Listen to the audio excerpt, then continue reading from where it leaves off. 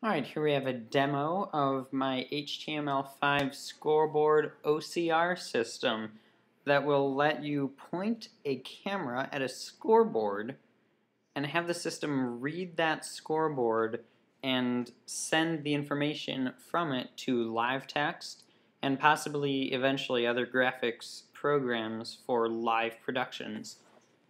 And it's a really neat system, so I'm going to start it now. Here we have a pre-recorded video of some sort of custom scoreboard. I found it on YouTube, but it makes a very good demonstration. So I have one field preset here, which is clock minutes tens. If I click on that, then you can see all of the different points here for that field and the lines between all of those points and where the seven segment LCD would normally be if all uh, seven of the segments were lit up.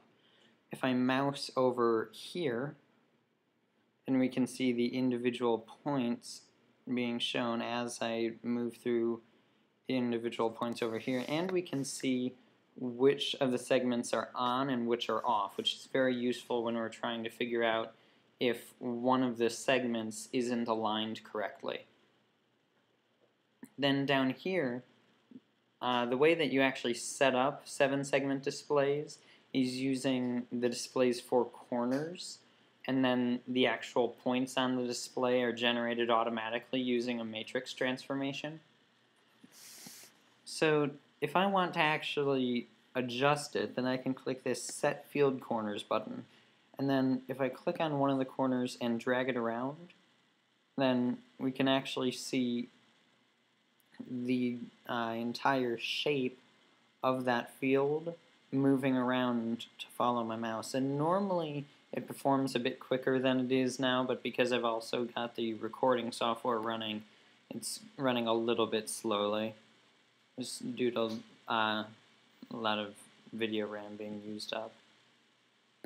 So it's actually a really cool transformation it does there. It's a matrix transform. It's used in a whole lot of places in this, usually in the background, but now and then you can actually see it in action. So we just hit done to tell it that we're finished adjusting those. And also great is that I can save and load profiles for different scoreboards.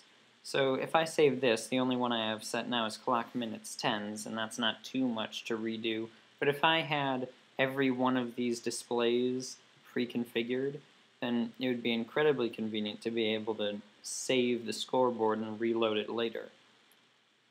And it automatically, when you load the system, jumps to the last saved file, but you can also create new files, select between multiple, and then load any of your existing files. Another great thing is that you can set the corners of the scoreboard. So right here we see the corners of the scoreboard and there, as I move around the corner, you can see that that matrix transform is happening again, and all of the points on the scoreboard that are currently set, which currently are just the ones for that one 7 segment LCD, are moving around. So that is really convenient when I'm trying to line up the corners of the scoreboard with the actual scoreboard. I can make sure that all of the points are going in their correct places as well. So you see this green box here is what I'm adjusting and then everything else automatically uh, moves to fit that. The best part about this though, about being able to adjust the corners, is that that means that if you have a scoreboard set up once with a camera set up on it at one angle, then let's say you save that scoreboard configuration, the save button here, and then at the end of the day you tear down all of your equipment, you tear down the camera, you pack up the computer, and you leave. And later, you either come back to the same field or stadium or whatever else, or even go to somewhere else that has the same model of scoreboard in a different place, then you can use that same setup even though your camera isn't at exactly the same angle. All you have to do is set your corners and adjust it so that all of the corners are in the right places and all of the points line up with these little dots on the display. And then the system will automatically adjust everything to match up with those new four corners you've given it and then start reading that scoreboard from the different angle, which is a really outstanding feature. It, and I had a little bit of help with those matrix transforms, and it turned out incredibly well. Then I'm just going to give a quick overview on the field options we have here. We have a single field, which is, uh, there aren't too many uses for that, but if you have just a single dot on a display and you want to send that to your graphic software, then you can use that for that. Home slash away is useful for something like these little arrows to show, let's say, um, possession or something like that. And then you can just click on the individual arrows. Here I'll demonstrate. So this is home, and then that's approximately where away is. Just give it a name, so possession. And then that shows up as an H because possession is currently home. And then I can mouse over these and see where the actual points are. Once again, it is uh, it shows up more cleanly when I'm not running the recording software. It it's pretty much real time when that's not going on. Then there's the two segment LCD, which is basically for uh, if you've got just the number one is usually displayed by just two LCD segments that might have more use eventually. Then the most versatile of all of your choices is the seven segment LCD. And that is any of these number displays so for those, originally I had it set up so you would have to click each of the individual segments, but that could be a bit of a pain. So I set up a matrix transform. All you have to do is click each of the four corners. So let's say I go with this shot clock. And it tells you what order you should be clicking them in. Then I'll name it so shot clock uh, ones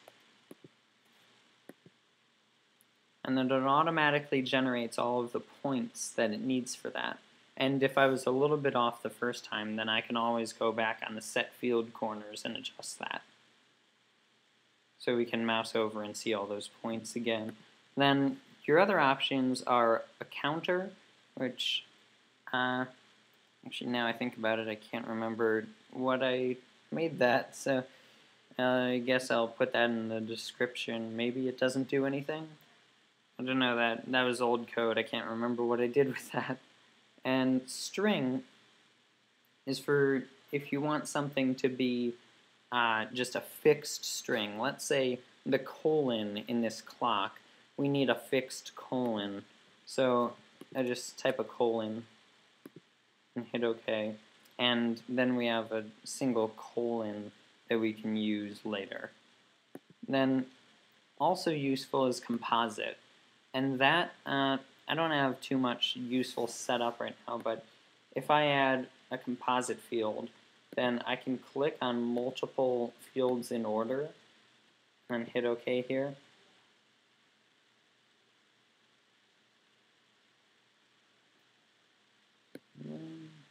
There we go. Bit of lag because of the recording software. So, multiple demo, alright.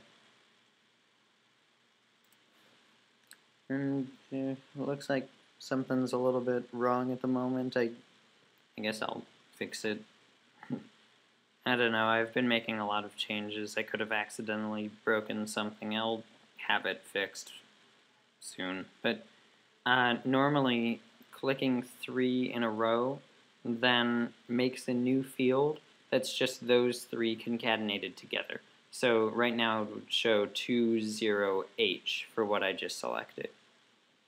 So that's how the system works. As you can see, there are a few bugs in the system at the moment because I'm just fiddling around with it myself, and it's not completely finished, but uh, apart from those few bugs that you uh, may have seen during this video, it's ready for use, and that's really outstanding. It's going to make all of our scoreboard operations at LTTV a whole lot easier. It's a really cool thing. I'm glad I ended up going through with this. So, thanks for watching. Comment. Check out the source code on GitHub, read it, reuse the OCR portion because it's awesome. Thanks.